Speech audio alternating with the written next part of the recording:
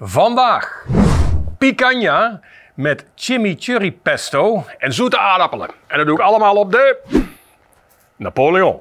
Ik ben Ralf de Kok, professioneel barbecuer. En elke week maak ik een fantastisch gerecht. Van super eenvoudig tot mega culinair.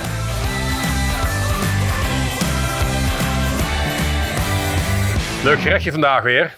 Picanha, picanha is altijd goed. Ik heb aardig wat met picanha gedaan op dit kanaal ook. Op de houtskoolgrill, gewoon de ketel. Die kun jij hier terugkijken. Dat doe ik trouwens ook eh, met een lekkere zoete aardappelpoffen, lekkere chimichurri. En dan zie je eigenlijk hoe je op een, op een mooie ketel, ook een Napoleon, ja, perfecte picanha kunt maken in zijn geheel. Ik heb eh, burgers gemaakt van picanha, hè, hamburgers. Ik heb picanha gevuld, ik heb picanha op de kamado gedaan. Ik heb allerlei dingen met picanha gedaan, op het spit, noem het maar op. Maar bij mij in de zaak, in het barbecuepaleis, krijg ik regelmatig de vraag: hoe maak ik picanha op mijn gasbarbecue? Ik weet het, gasbarbecues. Ik ben blij dat ze bestaan overigens. Dus op een of andere manier is dat uh, mensen die, die komen op uh, appartementjes of flatjes of zo te wonen en dan mag je in één keer niet meer met houtskool werken. Maar gasbarbecue mag vaak nog wel. Dus hartstikke mooi dat die dingen bestaan toch voor veel mensen. Nou, hoe leuk is het dan dat ik in ieder geval wat handvatten kan geven, hè, wat, wat munitie, wat ideeën om ook iets lekkers op de gasbarbecue te maken. Want ik heb hier natuurlijk mijn dikke Napoleon hier achter staan. Dit is de Big 32, hè, dus de, de, grote jongen. Uh, inbouwunit. Uh, vijf branders, spit erachter. Helemaal fantastisch apparaat. Ik ga hem eerst eventjes opwarmen. Ik zet hem gewoon eventjes op full whack. Dus al deze roosters eventjes vol aan. Nou, een picanha kun je ook op een gasbarbecue in zijn geheel bereiden. Maar ik heb wel eens vaker uitgelegd, als je een picanha in zijn geheel maakt en je hebt een grasgevoerd rund, dan moet je eigenlijk proberen om niet boven de 100 graden te gaan zitten van de, van de temperatuur in de barbecue. En veel gasbarbecues, althans de meeste gasbarbecues, die kunnen niet lager dan 125 graden. Want je hebt eigenlijk altijd een gasbuisje. Op de laagste stand is dat altijd een minimumtemperatuur. Je zult begrijpen hoe groter je barbecue is, de oppervlakte van je barbecue, hoe makkelijker het is om een lage temperatuur te krijgen. Maar om die te handhaven is best wel lastig. Mocht je een gasbarbecue hebben die niet zo laag kan, dan zou ik zeggen, zorg dat jij een mooie graangevoerd picanha krijgt. Zoals ik bijvoorbeeld, ik heb een uh, de Black Angus, Black Angus picanha. Heel erg mooi. Die haal ik natuurlijk online. Ik zeg natuurlijk, maar dat doe ik de laatste half jaar of zo. Uh, Super mooi vlees bij de meat lovers. Dus die zou ik eventueel op een hogere temperatuur kunnen maken. Maar ik ga vandaag ook nog eens een keer steaks maken van mijn picanha. Fantastisch mooi. En die hele mooie, die hele mooie vetcap, een beetje dat, dat donkergele, dat, uh, dat wil je zien. Niet van dat spierwitte, maar dat donkergele vet. Nou, je zit een beste vetcap op hier, dus een beetje, beetje dik. Dit kun je, als je wil, een beetje bijtrimmen zo. Als je wil. Uh, want ik ken mensen die, die lussen gewoon dat vet niet. Maar die mensen zijn stom. En dit vet, ja, dit is zo lekker. Eigenlijk, dit moet je ook niet weggooien. Dit moet je door je burgers mengen als je een keer je eigen burgers gaat maken of zo. Dit is echt waanzinnig. Nou ja, hoe dan ook. Wat wij eerst gaan doen met onze picanha. We gaan hem insnijden. Kruislings. En probeer niet door het vlees te snijden, want voor je het weet zit je in het vlees. Mocht je dat doen, het is niet zo heel erg hoor. Want uiteindelijk bedruipt hij zichzelf gewoon en, en, is hij zichzelf een beetje aan marineren met zijn eigen smaak. Dus het is niet zo heel erg. Maar het gaat een beetje ten koste van de gelijkmatigheid van de garing. En ik heb zometeen meer oppervlakte om mijn smaakmaker in te doen. En ik vind persoonlijk het mooiste om niet meer hierin te smeren dan alleen zout. In mijn geval hier wat uh, fleur de sel. Kijk, je haalt hem gewoon een klein beetje uit elkaar zo. En dan wrijf je mooi dat zout zo ertussen. Zo, dat zout mooi erin drukken in dat vet. Dit is het mooiste. En het overtollige, dat kloppen we er straks gewoon af, mocht dat nodig zijn. En ik, je ziet dat ik ook de onderkant niet inzout.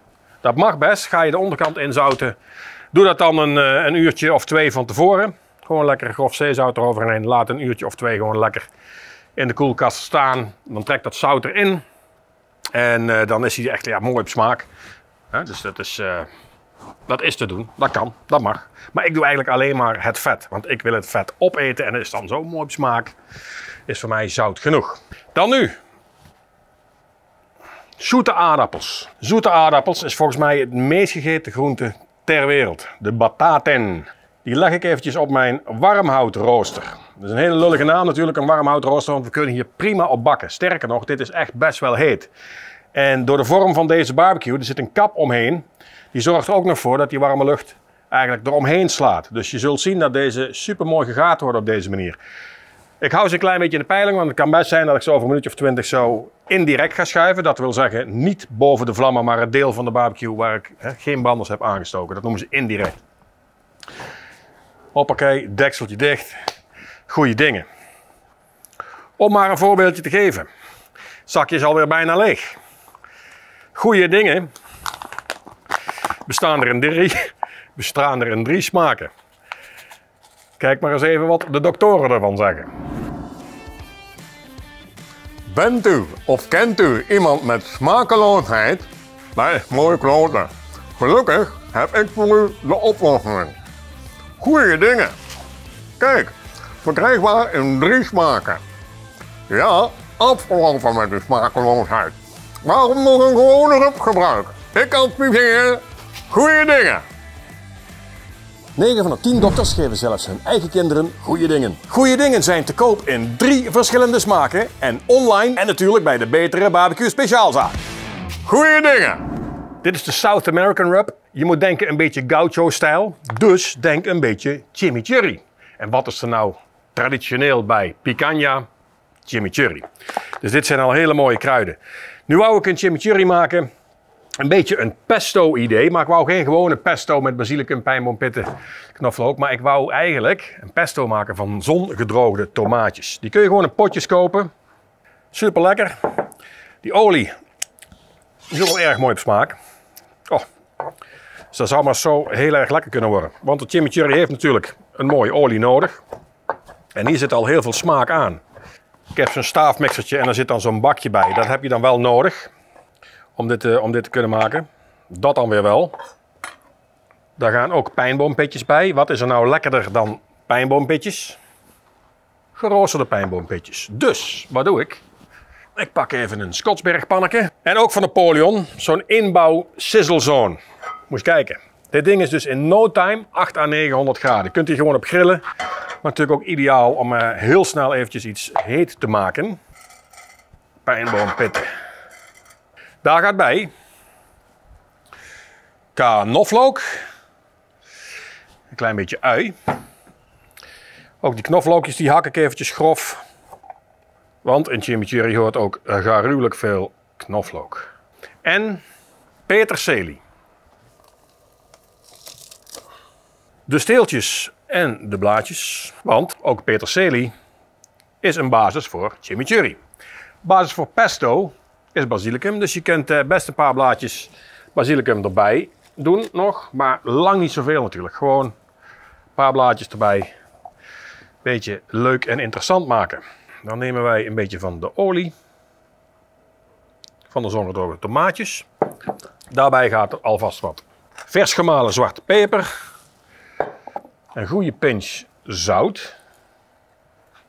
En een hele mooie azijn. Ik heb dit nog in de keuken staan, een laagje. Ik heb alweer een nieuw flesje gekocht. Je weet wel waar. Not sponsored. Het is een tomatenazijn. Traditioneel zit er natuurlijk een rode of witte wijnazijn in. En dan een stukje van de rode ui. Dat doe weg maar een, een stukje te zijn op deze hoeveelheid. Ik wil daar een deel van in mijn blendertje doen. En een deel klein gesneden stukjes bewaar ik eventjes, zodat ik straks nog een beetje structuur overhoud in mijn chimichurri. Oké, hoe gaat dit? Perfect. Oké, we gaan eens kijken wat er gebeurt.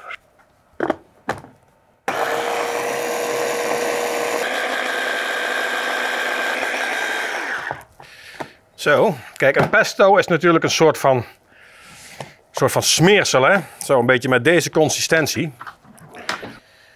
even proeven. Niet normaal. Niet normaal, erg lekker. Zuurtje komt mooi in van die tomatenazijn nu. Pijnboompitjes lekker, knoflookje proef ik. Zongedroogde tomaatjes. Ik ben hier uh, nu al heel erg blij mee. De rest van mijn uitjes gaan erin. Voor de rest nog wat olijfolie. Maar om dat nou nog mooier te maken, een eetlepeltje van de goede dingen. En ik wil hem nog een klein beetje vloeibaarder hebben. Meer richting uh, een chimichurri. Daar gaat nog wat uh, parmezaanse kaas bij. Eens kijken wat die doet.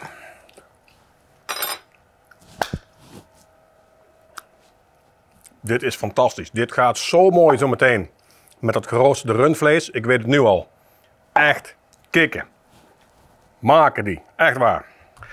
Hij zegt 230 graden. Dat is boven deze kant. Dus deze kant, rechts van de teller, is het wel iets heter. Zie je dat, wat er gebeurt? Ze zijn echt aan mooi aan het poffen. Dus dat ding is nou bokkenheet. Nou, wat gaan we doen? Het zijn steaks. Het zijn nog geen steaks. Het worden steaks. Let op. Snij ze een centimeter of drie, drieënhalf.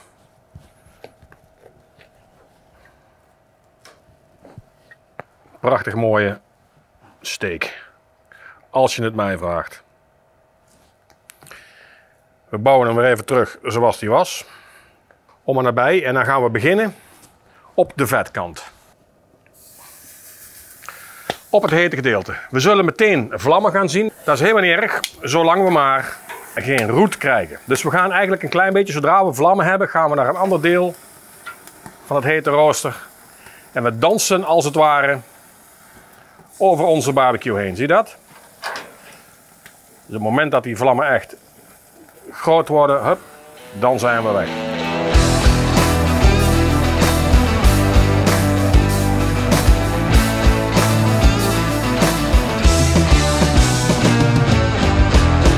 We willen goudbruinigheden hebben. Niks geen roet, dat is niet de bedoeling. Met afvakkelen, dan krijg je dus heel vaak roet erin. Hè. Dan is dat vet al helemaal gesmolten en dan komt in één keer die bovenste laag van, van die vlammen. En dan is het echt helemaal zwart. Nu is het gewoon nog gewoon wit vet. Snap je? Er nog niks aan de hand. Klaar. Nu gaan we ze gewoon eventjes als steek indirect op de barbecue leggen. En deze methode is natuurlijk beter bekend als de reverse sear methode. Hè? Dus we gaan nu mooi het vlees rustig laten garen, indirect op een lage temperatuur en dadelijk zak, zak, zak afketsen. Vanaf als die kern ongeveer 42, 44 graden heeft daartussenin, keihard afketsen. Heel simpel. Het geeft ook uh, onze piepertjes mooi de tijd om gaar te worden. Onze zoete aardappels bedoel ik. Die worden al mooi zacht. Wel belangrijk natuurlijk dat het deksel gesloten is en gesloten blijft. Zodat al die warme lucht mooi om onze um, picanha steaks heen gaan. Nou, dit zal ongeveer een, um, een kwartiertje duren, vermoed ik. En dan is het zak, zak, zak. En dan zijn we al klaar. Ga ik ondertussen alles even poetsen. Wij zijn een dikke 20 minuten verder. Ik heb zojuist mijn vlees gecheckt. Met de Thermapen, kijk. 49,6. Dus dat gaat hard. En die achterste had al 53. Dus die zijn al zo goed als klaar. Kijk, het enige wat wij nog moeten doen... is eventjes afketsen. Heel simpel. Nou weet je, als ik ze af ga ketsen, meteen weer vlammen. Dat is helemaal niet erg. Kijk trouwens, die, uh, die zoete aardappels, die zijn ook, ook al klaar. Echt heel erg heet. Helemaal gepoft. Die gaan nou verschroempelen zodra ze afkoelen. Maar dat vruchtvlees is echt super lekker. En daar gaan ze dan.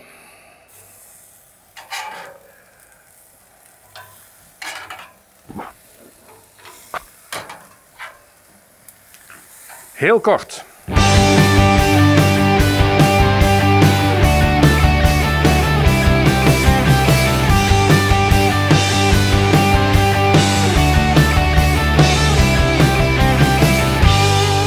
55,8. Wat mij betreft is dat het perfecte cuissonnetje voor onze picanha steaks.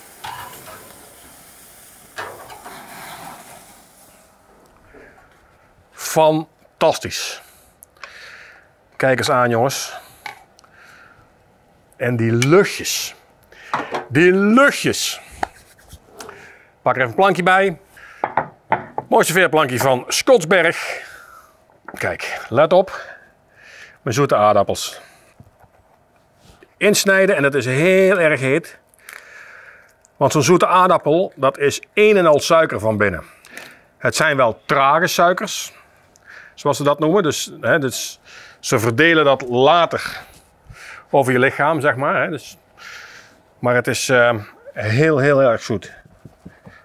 Maar kijk eens, dit is gewoon een pureetje geworden in een jasje. Zie je dat? Het is gewoon puree, heel zacht. Super mooi.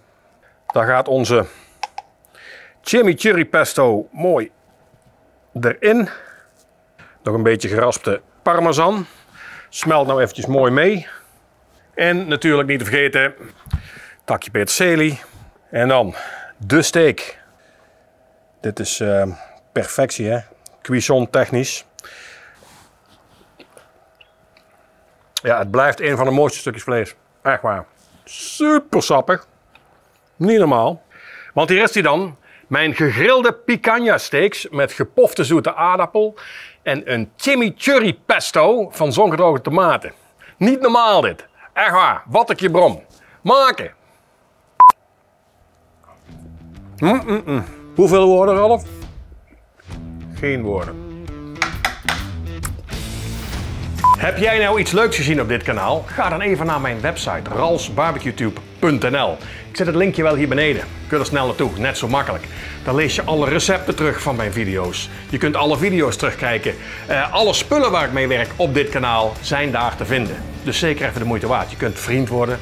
Nou, en als je nou even op dit kanaal wil blijven hangen, deze video van vorige week, fantastisch. En deze, van een heel poosje terug, een van mijn favoriete video's. Check hem, hè. En uh, abonneren, dat doe jij hier door op die knop te drukken. En dan hoop ik jullie volgende week weer te zien op dit kanaal. Goeie dingen!